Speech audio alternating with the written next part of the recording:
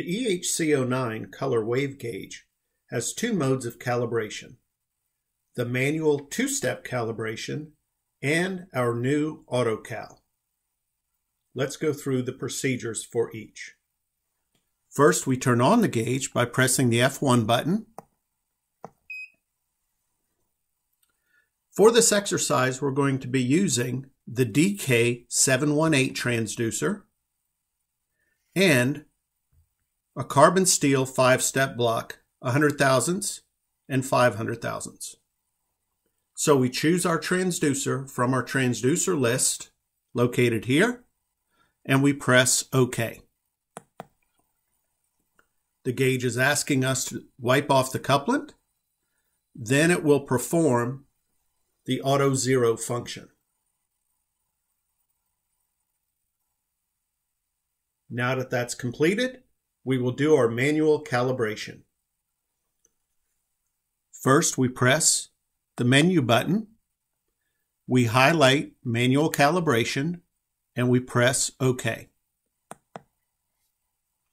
Now we follow the directions at the bottom of the screen, couple thin on the 100,000 side. We press the zero button, F2, and we use the up or down arrow key to the corresponding thickness, which is 100 thousandths. Then we press Cal, the F1 button. Next, it's asking us to couple to the thick side of the block and press velocity. We press velocity, the F3 button. Again, using the up or down arrow keys, we get to the known thickness of 500 thousandths.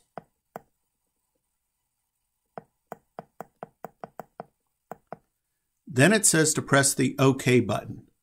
If you'll notice at the top of the screen, when I press the OK button, it calculates the velocity and displays it here.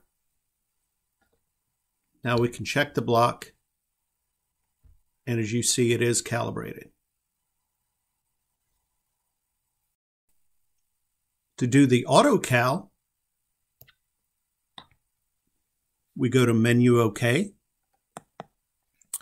We slide down to Initial Settings tap OK, and we slide down to Cal Type.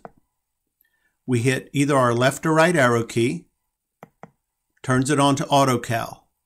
If you'll also notice, it shows us the hundred thousandths and the five hundred thousandths thicknesses from our block.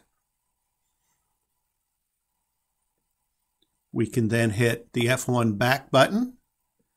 We slide up to our calibration, auto, we press OK. And again, we follow the directions. Couple to thin, the hundred thousandths. It beeps. Now it's asking us to couple thick, the 500 thousandths. And once this is done, you'll notice at the top of the screen, it calculates the velocity and displays it. And as you can see, we are calibrated. If you have any additional questions, feel free to go to our website, danatronics.com, or you can email us at sales at danatronics.com.